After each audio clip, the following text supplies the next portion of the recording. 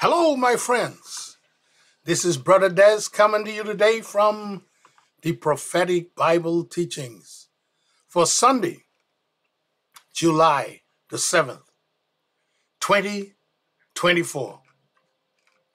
Last Sunday, we find that we went looking at uh, the studies here, the teaching on introduction to chapter 2 showing that there is a difference between the mystery of the believers taken from the earth to meet the Lord in the ear and the second coming of Jesus Christ to the earth with his saints. So today, or today's study, continues with the first section the mystery or mysterious rapture of the believers of Jesus Christ. And under this topic, we're going to be looking at, remember, we're going to go through the rapture, a sudden event, the rapture, the Lord Himself will come, the rapture, the Old Testament prophets and the mystery, and the rapture, the New Testament apostles and the mystery. But today, we will continue our studies about the mystery with humans becoming immortals, transformed and caught up by the cloud. And we'll be looking at that first section, the rapture, a sudden event. According to the Bible, 1 Corinthians 15 50 through 54, this event will be initiated this way. Now, this I say, brethren, that flesh and blood cannot inherit the kingdom of God, neither does corruption inherit incorruption. Behold, I show you what? A mystery. We shall not all sleep, but we shall all be changed in a moment, in the twinkling of an eye, at the last trump, for the trumpet of God shall sound, and the dead shall be raised incorruptible, and we shall be changed. For this corruptible, corruptible must put on incorruption, and this mortal must put on immortality. So then, when this corruptible shall have put on incorruption, and this mortal shall have put on immortality, then shall be brought to pass the saying that is written, Death is swallowed up in victory. That's 1 Corinthians 15, 50 through 54. From the above scriptures, first, the above tells us that one of these days there will be a sudden event, and it will be an awakening event. Things about this sudden event. One, it'll be an awakening event. We shall not all sleep. Millions and millions and millions of believers, billions, will be taken from the graves and from those who are alive and all be made alive. And then not only would it be an awakening event, it will be a translation event, but we shall all be changed. Millions and millions and millions and millions of believers who are alive and will die and be resurrected and taken from their jobs, uh, from airplanes, cars, vehicles, etc. And together, we both, those who were dead and those who are alive, will all die and be resurrected and translated and taken together, all the same. No more race, color, ethnicity. This would be full equality equity and inclusion, all in the house of God. This is the way God explains what it is to be on the outside now. The inside will be all togetherness, but on the outside. And behold, I come quickly, and my reward is with me to give every man according to his work shall be. I am the Alpha and the Omega, the beginning and the ending, the first and the last. Blessed are they that do his commandments, that do his commandments, that they might have right to the tree of life. And many enter in through that gates unto the city. For without are dogs and sorcerers and whoremongers and murderers and idolaters and loveth whosoever loveth and make it a lie. I, Jesus, have sent mine angel to testify unto you these things in the churches. Revelation 22 12 through 16. Then we find it will be a time event in a moment, in the twinkling of an eye. It will take place in the moment, not, not in the twinkle of an eye, but in a moment, in a twinkle in the eye, that God and Jesus agreed on so fast, so quickly. Note, not the twinkling of an eye, as I mentioned, but in a moment in a, of an eye. But then there'll be a divine event at the last trump, for the trumpet shall sound. The last trumpet will sound loudly that will awake the living and the dead. Why the living? They are awake, but not resurrection. Awake, awakening. Instantaneously, the living who are alive when the trumpet of God sounds will die and then be resurrected. Remember what the scriptures say. Now, this I say, brethren, that flesh and blood cannot inherit the kingdom of God, neither doth corruption inherit incorruption. Behold, I show you this mystery. Then there'll be a resurrection event. The dead shall be raised incorruptible. This new description of these immortals show that the bodies they would resurrect with would be impossible to see corruption. And then it'll be a community event. We shall be changed. Friends, we got to be changed because Christians not even on the even keel today. There are whites against blacks and against the others, and this against that one, and parties against this party, and all the rest. Isn't it great? We shall all be changed. The living believers will suddenly die on the spot, come back to life together with the dead, and become alive and be changed in, in the transformation process, and will be rapidly taken to the clouds to meet the Lord in the air.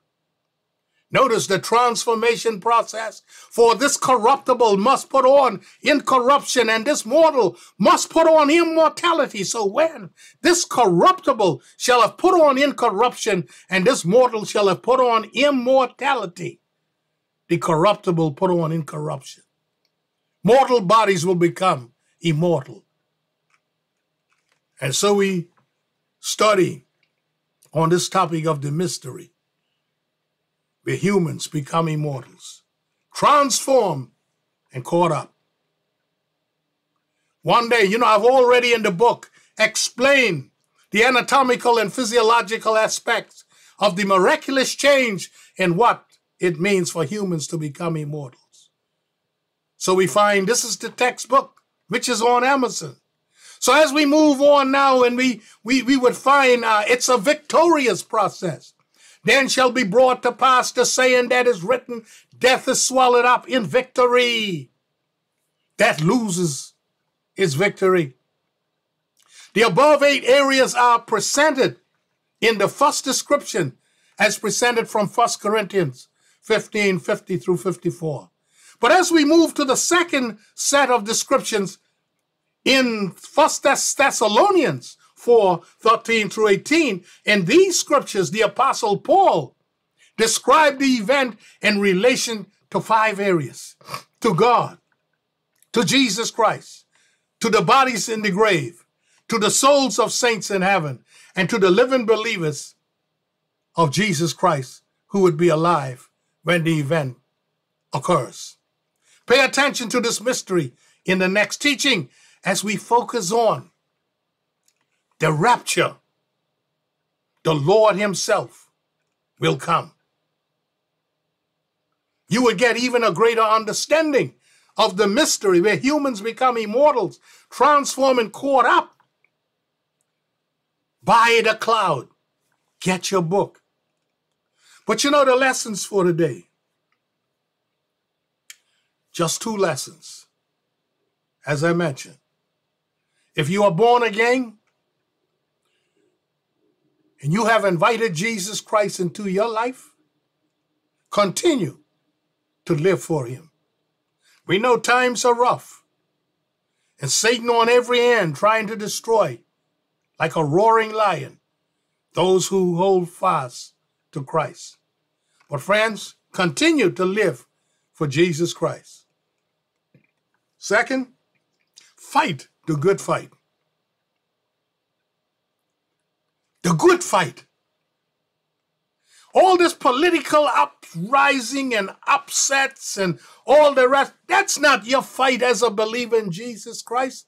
You got a different city. You like Abraham. He sought for a city whose builder and maker was God.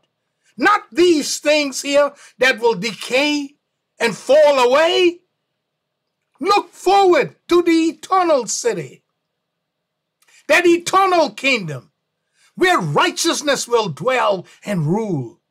So fight the good fight, win souls for Jesus Christ.